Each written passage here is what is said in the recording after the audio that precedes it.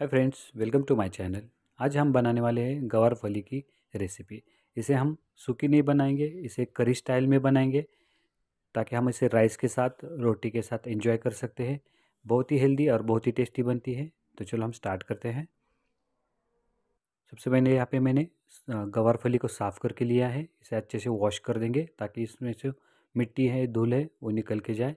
इसे मैंने एक एक इंच में इस तरह से टुकड़े टुकड़े में साफ़ कर लिया है। अब मैंने यहाँ पे अच्छी तरह से वॉश कर लिया है।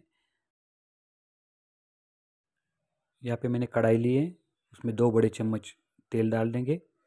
तेल अच्छे से गर्म हो जाने के बाद इसमें राई ऐड कर देंगे और एक टीस्पून जीरा ऐड कर देंगे। यहाँ पे कुछ कड़ी पत्ता डाल दिया है मैंने। कड़ी पत्ते की वजह से उसका फ्लेवर बहुत बढ़िया आता है। मैंने यह लहसुन की तीन चार कलियाँ ली है। जस्ट इसको दबा के मैंने इसी तरह से हम इसमें ऐड कर देंगे। अब मैंने यहाँ पे एक चुटकी हींग लिया है, इसे भी ऐड कर देंगे। अब लहसुन को अच्छी तरह से कुक कर देंगे, इसे ब्राउन होने तक अच्छे से कुक करेंगे ताकि इसका फ्लेवर पूरी तरह से सब्ज़ी में उतर के जाए। अब यहाँ पे मैंने गवार ऐड किया है इसमें। गवार को भी अच्छी तरह से हम ऑयल के साथ और लहसुन के साथ मिक्स कर देंगे ताकि लहसुन का अच्छा सा फ्लेवर इसमें उतर के आए। यहाँ पे नमक ऐड कर देंगे। नमक ऐड करके इसका अच्छे से मिक्स कर देंगे।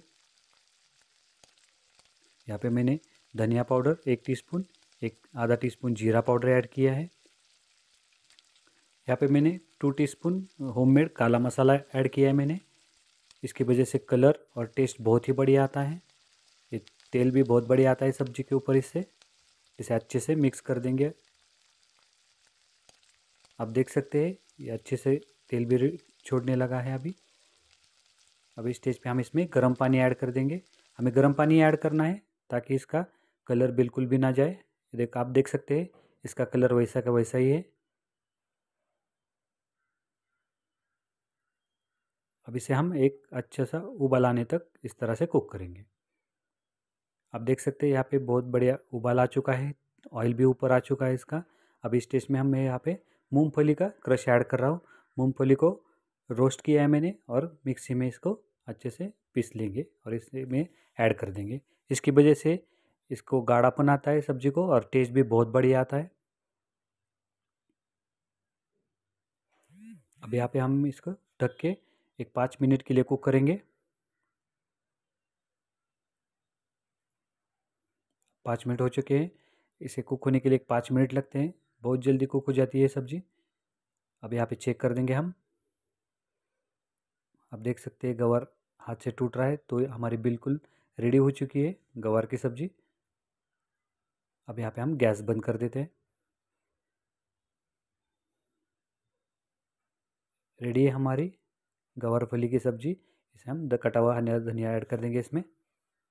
आप देख सकते हैं बहुत ही बढ़िया कलर आ गया है इसको, बहुत ही बढ़िया टेस्ट है इसका। अब इसे हम ट्रांसफ़र कर लेते हैं बाउल में। आप इसे राइस के साथ, रोटी के साथ एंजॉय कर सकते हैं। बहुत ही टेस्टी रेसिपी है। आपको ये रेसिपी कैसी लगी, प्लीज़ कमेंट बॉक्स में बताइए। और आपको ये रेसिपी अच्छी लगी हो तो लाइक और सब्सक्राइब ज़रूर कर देना।